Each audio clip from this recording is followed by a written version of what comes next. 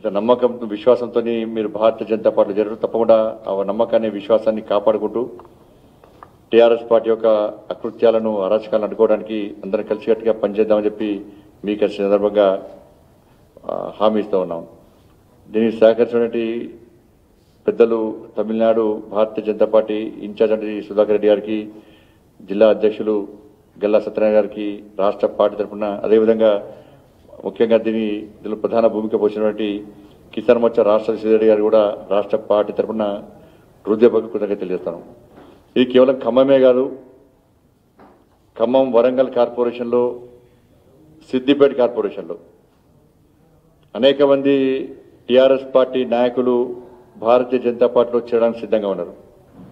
దీని ప్రధాన కారణం ఏంటంటే దుబ్బాక ఎన్నికలో భారతీయ జనతా పార్టీ కార్యకర్తలను నాయకులను రాష్ట్ర ప్రభుత్వము అధికార దాహంతో అహంకారంతో అనేక సందర్భాల్లో ఇబ్బంది పెట్టి ఒక భయానక వాతావరణం సృష్టించింది. అయినప్పుడు కూడా ప్రజలందరూ కూడా ప్రజాస్వామ్యాన్ని కోరుకున్నారు.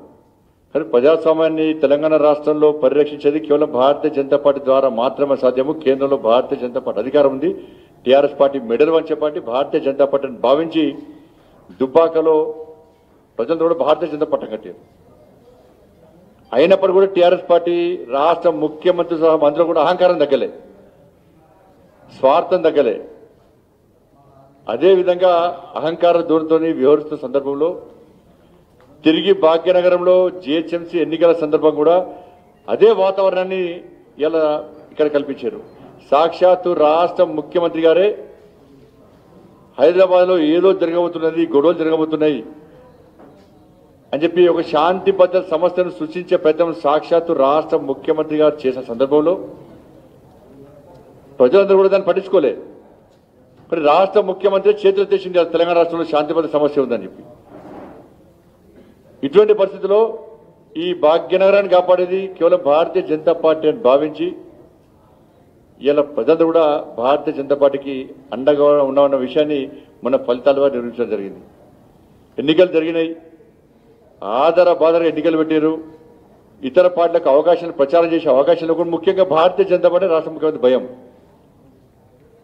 భయపడి ఇంకా శక్తివంతంగా తలెత్తింది భారతీయ జనతా పార్టీ. కాబట్టి వెంటనే ఎన్నికలు నిర్వహించాలి.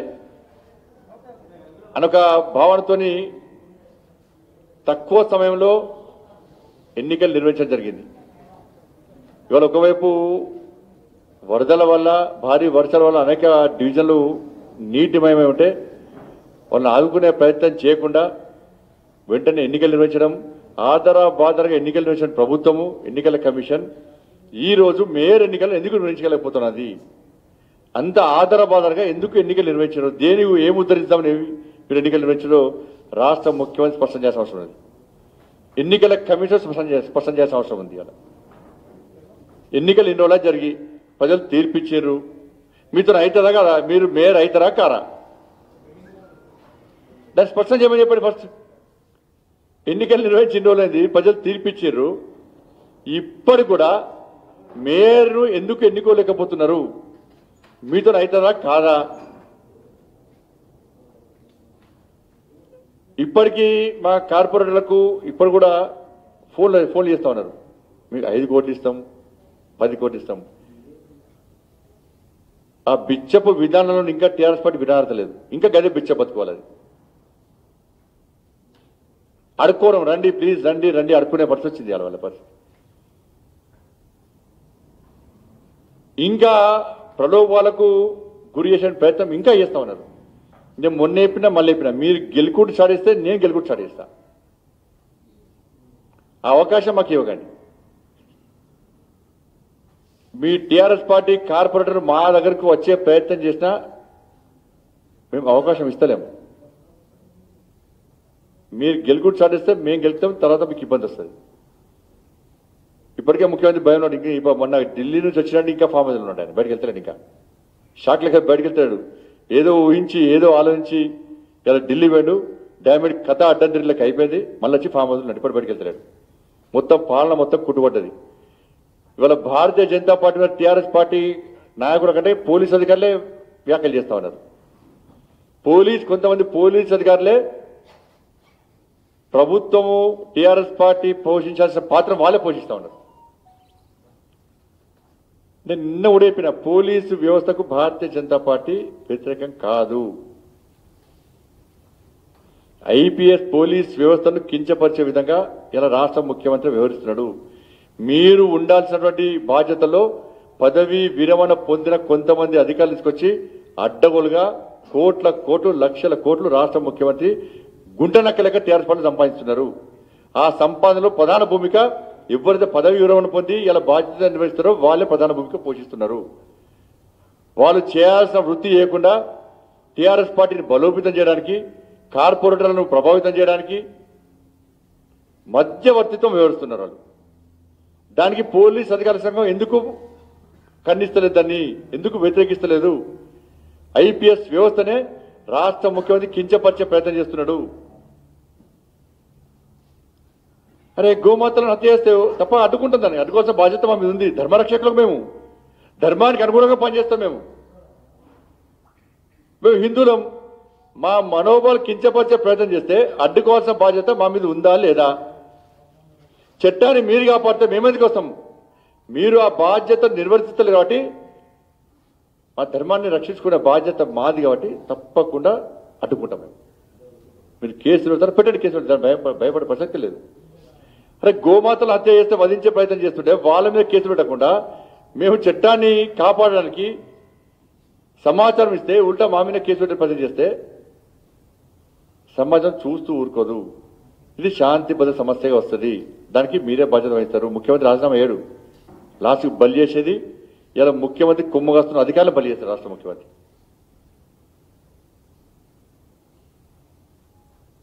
ఖమ్మంలో కూడా అదే పరిస్థితి. ఖమ్మంలో పూర్తి అభివృద్ధి కుట్టుబడ్డది అక్కడ నుండి కొంతమంది టీఆర్ఎస్ పార్టీ ఎమ్మెల్యేలు మంత్రులను కూడా అంతా కూడా విచ్చలవిడిగా అరాచకాలు చేస్తూ అడ్డగోలుగా గుంట నక్కలెక్క సంపాదిస్తారు పేద ప్రజలను పుట్టగొడుతున్నారు అందరూ కూడా. పేద ప్రజలు ఇబ్బంది పడుతున్నారు ఖమ్మంలో. కాబట్టి కార్పొరేషన్లో అడ్డదారులు గెలవాలి అని చెప్పి అలా ఒక భయానక వాతావరణం సృష్టించే ప్రయత్నం అక్కడ నాయకులు చేస్తా ఉన్నారు. యథా రాజా తదా ప్రజ. జయచంద్ర రాష్ట్ర ముఖ్యమంత్రి ఏ విధంగా పాత్ర పోషించాడో ఇలా ఖమ్మంలో అదే జరుగుతున్నది. కానీ ఖమ్మం ప్రజల్లో కూడా చైతన్యం ఉన్నది. ఒక ఆలోచన ఉన్నది ఒక స్ఫూర్తి ఉన్నది పోరాట పటిమ ఉన్నది ఖమ్మం ఖమ్మం జిల్లాలో కూడా. వాళ్ళు దేన్ని భయపడతలేరు? ఎక్కడికక్కడ అడుగునే ప్రయత్నం చేస్తున్నారు. ఇవాళ శ్రీనివాసరావు గారు రవీంద్రనాథ్ గారు సత్యనారాయణ గారు రామారావు గారు ఖమ్మం నుంచి బయలుదేరి భారతీయ జనతా పార్టీ స్వచ్ఛందంగా మేము వారితో మాట్లాడలే. వారు టీఆర్ఎస్ పార్టీ ప్రత్యామ్నాయమేది భారతీయ జనతా పార్టీ అని భావించి కేంద్రంలో శ్రీ నరేంద్ర మోడీ ప్రభుత్వం చేస్తున్న అభివృద్ధి పనులను గుర్తించి వాళ్ళ ఖమ్మం కార్పొరేషన్లో ఇంతో అంతో అభివృద్ధి జరుగుతుంటే కేవలము కేంద్ర ప్రభుత్వం నిధులు తప్ప ఒక్క పైసా కూడా ఇవాళ రాష్ట్ర ప్రభుత్వము ఖమ్మం అభివృద్ధి కేటాయించలేదు. కేంద్రం ఇచ్చిన నిధులు కూడా దారి మళ్ళిస్తున్నారు. పథకాలను పేర్లు మారుస్తున్నారు. కాబట్టి దాన్ని గుర్తించే నరేంద్ర మోడీ గారి యొక్క నాయకత్వాన్ని బలపరచడానికి ఈరోజు భారతీయ జనతా పార్టీ చేయడానికి ఖమ్మం నుంచి బయలుదేరిన సందర్భంలో అక్కడి నుంచి ఇక్కడి వరకు పోలీసులు అడ్డుకునే ప్రయత్నం చేయడం పోలీసు ఫోన్ చేసి బెదిరించే ప్రయత్నం చేయడము మీ వ్యాపారాలు ఉన్నాయి మీరు ఎట్లా వేసుకుంటారు? ఎట్లా వేసుకోరో అట్లా వేసుకుంటారు తప్పకుండా. అధికారము శాశ్వతం కాదు మళ్ళీ చెప్తున్నాను నేను. మంత్రులు ఎమ్మెల్యేలు చాలా జాగ్రత్తగా వివరించాల్సిన అవసరం ఉంది. ప్రజాస్వామ్యబద్ధంగా వివరించాల్సిన అవసరం ఉంది. మీ కబ్జాలకు మీ అవినీతికి అంతూ అడ్డు అదుపులే కూడా పోతున్నది. దాన్ని అడ్డుకోవడానికి ప్రజా సమక్షంలో మీ వాస్తవ విషయాలు వివరించడానికి భారతీయ జనతా పార్టీ సిద్ధంగా ఉంది. ఆ రాష్ట్రంలో మంత్రి మొన్న జిహెచ్ఎంసీ ఎన్నికల్లో అడ్డంగా దొరికిపోయాడు. పారిపోయాడు కూకర్పల్లి నుంచి. దొంగలకే వారిపోయాడు మా కార్యకర్త లాస్ట్కు కార్య ధైర్యంగా ఆయన కారు మీద పడితే లేదంటే వేరే పని మీద ఆయన ఏదో పని మీద ఆయన మరి పోలీస్ అధికారులు ఎందుకు అరెస్ట్ చేయలే రోజు? ఉల్టా భారతీయ జనతా పార్టీ అడ్డుకునే ప్రయత్నం చేసిన భారతీయ జనతా పార్టీ కార్యకర్తలు కేసు పెట్టారు.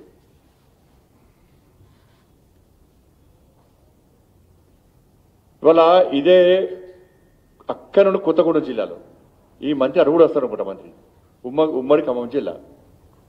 కొత్తగూడెం జిల్లాలో ఇప్పుడే సమాచారం వచ్చింది. ఐదుగురు మైనర్ బాలికలు. కొత్తగూడెం జిల్లాలో ఐదుగురు మైనర్ బాలికలు. థర్డ్ క్లాస్ ఫోర్త్ క్లాస్ చిన్న చిన్న పిల్లలను. ఆ పాఠశాలకు సంబంధించి మైలవరం గ్రామము చింతవ చింతవరం గ్రామం. లక్ష్మీదేవిపల్లి లక్ష్మీదేవి లక్ష్మీదేవిపల్లి లక్ష్మీదేవిపల్లి మండలము కొత్తగూడెం జిల్లా.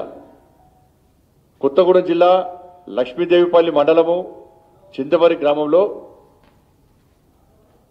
ఇలా ప్రాథమిక పాఠశాలలో దొడ్డి సునీల్ కుమార్ అనేటువంటి ఒక ప్రధానోపాధ్యాయుడు గత ఐదు నెలలుగా ఐదు నెలలుగా ఈ చిన్న పిల్లలను ఐదు ఐదుగురు చిన్న అమ్మాయిలను లైంగిక వేధింపులకు గురి చేస్తూ ఐదు నెలలుగా ఇబ్బంది పెట్టే ప్రయత్నం చేస్తా ఉన్నాడు.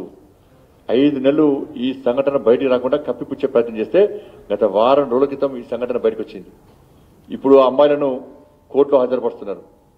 స్టేట్మెంట్ రికార్డ్ చేస్తున్నారు. ఇది తెలిసి కూడా పోలీస్ అధికారులకు తెలుసు అక్కడ సంబంధ విద్యాశాఖ అధికారులకు తెలుసు. తెలిసినప్పుడు కూడా కొంతమంది టీఆర్ఎస్ పార్టీ నాయకులు బ్రోకర్ వాళ్ళు. బ్రోకరిజం చేస్తూ ఇలా అమ్మాయిలకు అన్యాయం జరిగింది గిరిజన అమ్మాయిల మధ్యలో గిరిజన అమ్మాయిలకు అన్యాయం జరిగింది తండాకు సంబంధించిన అమ్మాయిలకు అన్యాయం జరిగింది. ఆ దుండగుని శిక్షించాలని చెప్పి ఆలోచన లేకుండా కొంతమంది టీఆర్ఎస్ పార్టీ నాయకులు బ్రోకరిజం చేస్తూ ఇవాళ ఈ ఇంత పెద్ద సంఘటనను కప్పిపుచ్చే ప్రయత్నం చేయడం ఇంతకంటే దుర్మార్గం నీచమైన పని ఇంకోటి కాదు. ఏం చేస్తున్నారు? పోలీసు అధికారులు ఏ పాత్ర పోషిస్తున్నారా? కింది స్థాయి కొంచెం పోలీసు అధికారులు దీని మీద చర్యలు తీసుకోవాలని చెప్పి ఆలోచన ఉన్నప్పుడు కూడా టీఆర్ఎస్ పార్టీ నాయకులు ఒత్తిడి తీసుకొస్తున్నారు వాళ్ళ మీద. ఈరోజు భారతీయ జనతా పార్టీ నాయకులు అక్కడ ఈ ఇష్యూలో ఆందోళన చేసినటువంటి సందర్భంలో ఇప్పుడు స్పందించి ఈరోజు స్టేట్మెంట్ రికార్డ్ చేస్తున్నారు. ఇప్పుడు వైద్యశీకాలు చేస్తూ ఉన్నారు ఇలా మానవత్వం లేని మానవ మృగంగా వివరించినటువంటి ఆ వ్యక్తిని కఠినంగా శిక్షించాలా లేదా? ఒక్కసారి ప్రజలు ఆలోచించాల్సిన అవసరం ఉంది. రాక్షసత్వం పాల్పడొచ్చింది ఇవాళ నిందితుని ఇవాళ కాపాడే ప్రయత్నం చాలా పెద్ద సంఘటన ఇవాళ. ఐదుగురు మైనర్ బాలికలు గిరిజన బాలికలు చిన్న పిల్లలు థర్డ్ క్లాస్ సమస్య పిల్లలు ప్రాథమిక పాఠశాల సమస్య పిల్లలు వాళ్ళను లైంగిక ఐదు ఐదు ఐదు నెలలుగా లైంగిక వేధింపులకు ఆ ప్రజాపంచుడు గురి చేస్తా ఉన్నాడు. ఇంత పెద్ద సంఘటన జరిగితే మరి టీఆర్ఎస్ పార్టీ నాయకులు దాని చిన్న సంఘటన కప్పిపుచ్చే పని చేస్తే ఇక్కడ దుర్మార్గం ఇప్పుడు కాదు. మేము పోలీస్ అధికారులు ప్రభుత్వం డిమాండ్ చేస్తున్నాం. వెంటనే రాష్ట్ర ముఖ్యమంత్రి స్పందించాల్సిందే. ఫామ్ హౌస్ వనుడు కాదు. ఇవాళ కొత్తగూడెం జిల్లాలో ఇంత దుర్మార్గమైన రాక్షసత్వమైన సంఘటన జరిగింది వాళ్ళ కొత్త కొత్తగూడెం జిల్లాలో. దుర్మార్గమైన సంఘటన జరిగింది. గిరిజన మా పిల్ల గిరిజనకు సంబంధించినటువంటి ఐదుగురు పిల్లలను మైనర్ పాప- అమ్మాయిలను ఇవాళ లైంగికంగా వేధించినారు. దీన్ని చిన్న సంఘటనగా చూసే పని చేస్తే భారతీయ జనతా పార్టీ ఎట్టి బస్సులో దీని మీద ఆందోళన చేస్తుంది దీని మీద అడ్డుకునే ప్రయత్నం చేస్తుంది. కాబట్టి వెంటనే స్పందించాల్సిన బాధ్యత రాష్ట్ర ప్రభుత్వం మీద ఉంది. వెంటనే స్పందించాలని చెప్పి మేము డిమాండ్ చేస్తా ఉన్నాం. ఈ సంఘటనకు సంబంధించి అక్కడ జెడ్పీటీసీ గారు వసంత గారు జెడ్పీటీసీ గారు ఇప్పుడు లైన్లో ఉన్నారు వాళ్ళు అక్కడనే కోర్టులో ఉన్నారు వాళ్ళు. దయచేసి ఈ- లైవ్ సాక్షిగా మీకు వివరించే ప్రయత్నం చేస్తారు. వసంత గారు నేను బండి సంజయ్ అమ్మ బీజేపీ రాష్ట్ర అధ్యక్షుడిని మాట్లాడుతున్నా. ఇప్పుడు అక్కడ జరిగిన సంఘటన మీరు వివరించగలుగుతారమ్మా? ఒక్కటి చెప్పండి అమ్మా ఇక్కడ భద్రాద్రి కొత్తగూడెం జిల్లాలో మైలవరం పంచాయతీ అండి. లక్ష్మీదేవిపల్లి మండలం. మైలారం గ్రామ పంచాయతీలో చింతవరం చిన్న గ్రామం సార్. అతను అక్కడ పదకొండు మంది పిల్లలు ఉంటారు మొత్తం దాంట్లో ఐదుగురు ఆడపిల్లలు. అతను ఒక అక్కడ పనిచేస్తున్న టీచరే హెచ్ఎంఏ. గత మూడు నాలుగు నెలల నుంచి వాళ్ళను మానసికంగా శారీరకంగా చాలా ఇబ్బంది పెడుతున్నారు సార్. అవన్నీ బయటకు వచ్చిన తర్వాత ఆ, మీడియా వీళ్ళంతా వెళ్ళి అందరం వెళ్ళేసి బయటకు తీసేసారు అది. ఆ టెస్ట్లోకి పోయింది. అది నిరూపణ కూడా అయింది సార్. రిపోర్ట్లు వచ్చినాయి. కానీ మిగతా వాళ్ళు ఎవరు సరే పట్టించుకోవట్లేదు సార్. పోలీసు వాళ్ళు అయితే బాగానే రెస్పాండ్ అయ్యారు. కేసు చేశారు. అతను అరెస్ట్ అయ్యాడు. అయితే దీంట్లో కొంతమంది కలిసి పంచాయతీ కేసు అవ్వకుండా చేయడం కోసం రాజీ చేయడం కోసం ప్రయత్నించారు సార్. అందుకోసం వాళ్ళ మీద కూడా చర్య తీసుకోవాలనేది నేను జడిపిటీసుకు ఒక డిమాండ్ పెడతాను సార్ అప్పుడు. మిగతా ఇక్కడ ఉన్నటువంటి రాజకీయ పార్టీలు కానీ ఎవరు పట్టించుకోవట్లేదు వాళ్ళకి న్యాయం చేసే వాళ్ళు కూడా ఎవరు లేదు సార్. చిన్న చాలా చిన్న పిల్లలు. ఆరు సంవత్సరాలు ఎనిమిది సంవత్సరాల లోపు పిల్లలే సార్. వాళ్ళు శారీరకంగా కూడా ఒక అమ్మాయి చాలా సీరియస్గా ఉండే. నిన్న సాయంత్రమే హాస్పిటల్ నుంచి వచ్చేసింది. ఇవాళ మేజిస్ట్రేట్ గారికి స్టేట్మెంట్ ఇవ్వాలంటే వచ్చేసారు సార్. అందుకనే వాళ్ళకు చాలా పేద కుటుంబాలు. వాళ్ళకు ఒక సెంటు భూమి కూడా లేదు ఇల్లు లేదు. అక్కడ చూస్తే మాత్రం చాలా దారుణమైన పరిస్థితిలో ఉన్నారు సార్ ఆ కుటుంబాలు.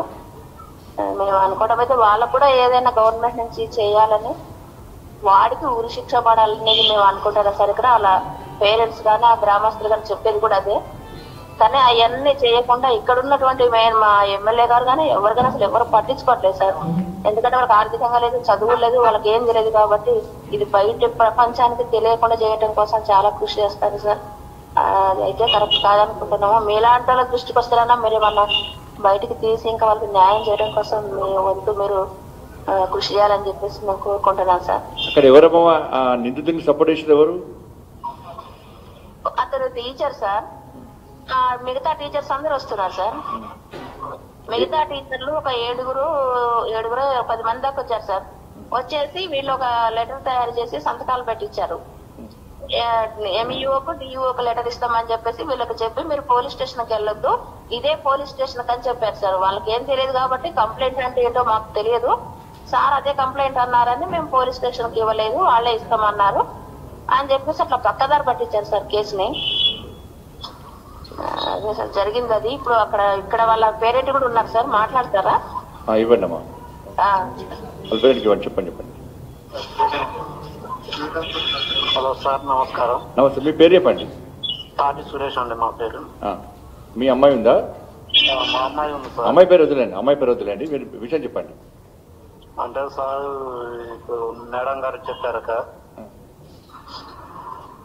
Hello sir. చెప్పండి చెప్పండి వినపడుతుంది చెప్పండి. ఏం జరిగిందో చెప్పండి.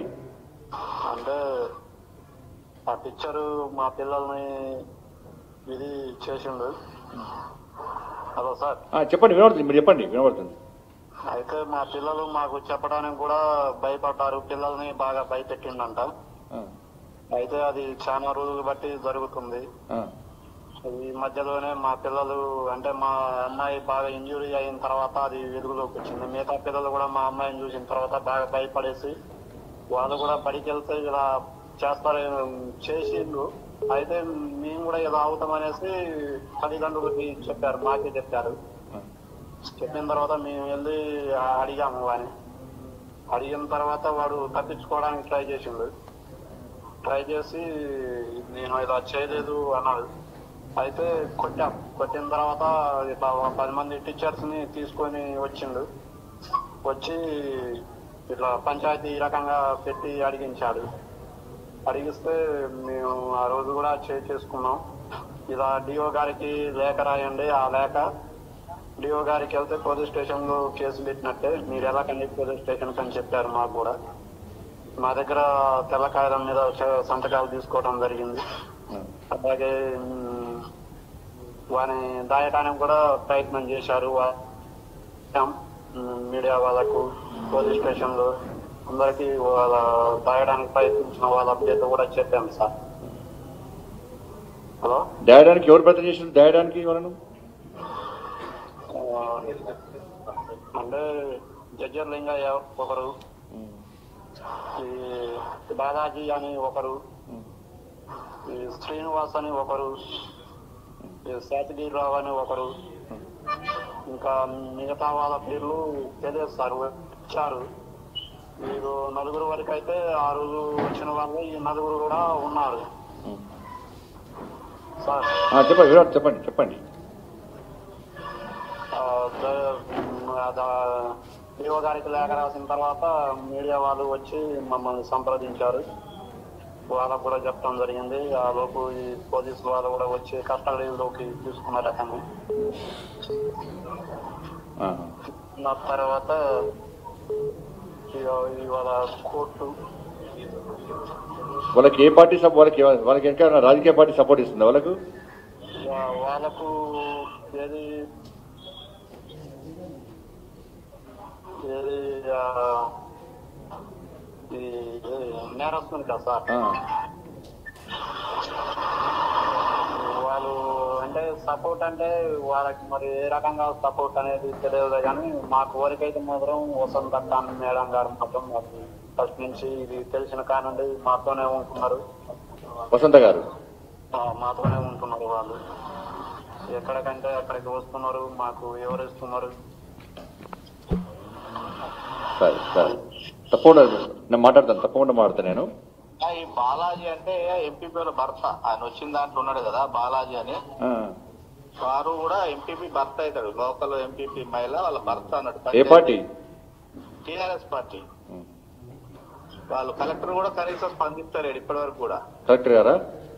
కలెక్టర్ గారు కూడా స్పందిస్తలేడు. డిఈఓ ఎంఈఓ మీద ఇంతవరకు క్రమశిక్షణ చర్యలు తీసుకోలేదు. వాళ్ళు మభ్య పెట్టడానికి ప్రయత్నం చేసే దాంట్లో వీళ్ళందరూ ఉన్నారు. ఎంఈఓ ఉన్నారు డిఈఓ ఉన్నారు.